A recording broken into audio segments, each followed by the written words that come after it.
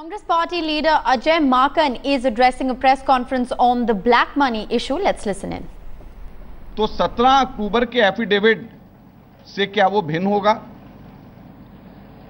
आज उसी को एक कदम आगे बढ़ाते हुए एक अखबार में ज़ाहिर सी बात है कि सरकारी सूत्रों के हवाले से ही वो खबर निकलती है ये कहा गया कि 800 में से 136 लोगों के नाम बताए जाएँगे और साथ में माननीय वित्त मंत्री जी ने यह भी कह दिया कि कांग्रेस पार्टी के लिए बहुत एम्बेरसिंग होगा। तो हम लोग वित्त मंत्री जी को और बीजेपी की सरकार को सबसे पहले तो ये कहना चाहेंगे कि कांग्रेस पार्टी को ब्लैकमेल करने की ज़रूरत नहीं है। कांग्रेस पार्टी किसी भी प्रकार की धमकी और ब्लैकमेलिंग के अंदर नहीं आने वाली है। और कोई भी इंडिविजुअल इसके अंदर हैं, आपके पास में कानून है, आपके पास में सरकार है, आप कार्रवाई करिए और किसी भी स्तर पे करिए। लेकिन कांग्रेस पार्टी किसी भी इस प्रकार की धमकी से ब्लैकमेल होने वाली नहीं है। कांग्रेस पार्टी को धमकाने और ब्लैकमेल की कोशिश कतई नहीं करें। हम ये भी उनसे कहेंगे कि केवल 136 नाम भारतीय जनता पार्टी की सरकार को वित्त मंत्री जी को कहना चाहेंगे कि अर्ज़ सत्य सत्य नहीं होता है। सेलेक्टिव और विंडिक्टिव नामों की लीकेज के अंदर ना जाएँ और सारे के सारे नाम लेकर के आए और कांग्रेस पार्टी इंडिविजुअल से ऊपर है और कोई भी व्यक्ति इसके अंदर शामिल है, उसके उसके ऊपर आप कड़ी से कड़ी कार्रवाई करें, लेकिन वो कार्रवाई दुर्भावना से प्रेरित नहीं होनी चाहिए। वो अर्ज़ सत्य नहीं होना चाहिए, सभी नाम आने चाहिए।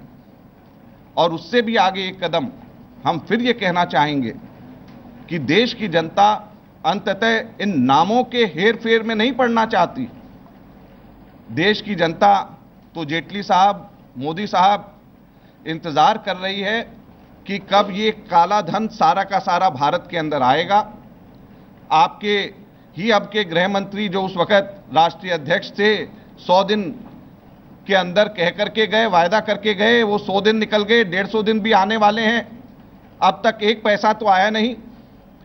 मैं और हमारे जितने भी और साथी हैं, पूरे देश की जनता अपने अपने अकाउंट के अंदर पंद्रह लाख रुपए, जो मोदी जी आपने कहा था, उसका अभी भी इंतज़ार कर रही।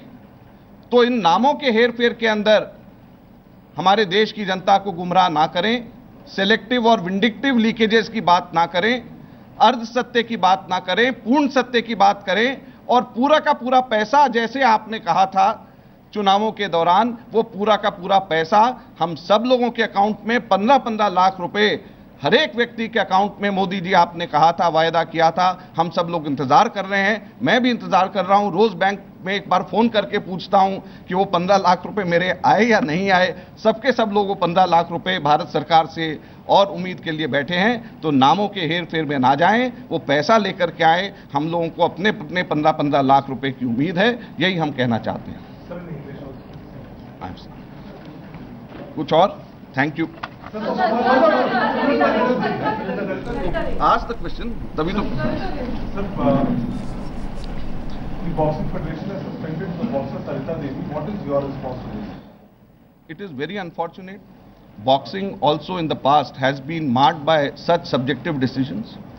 It is un unfortunate that the Indian Boxing Federation and the Indian Olympic Association, the Sports Authority of India, the Sports Ministry, they should have had the guts to take it up up to the highest level.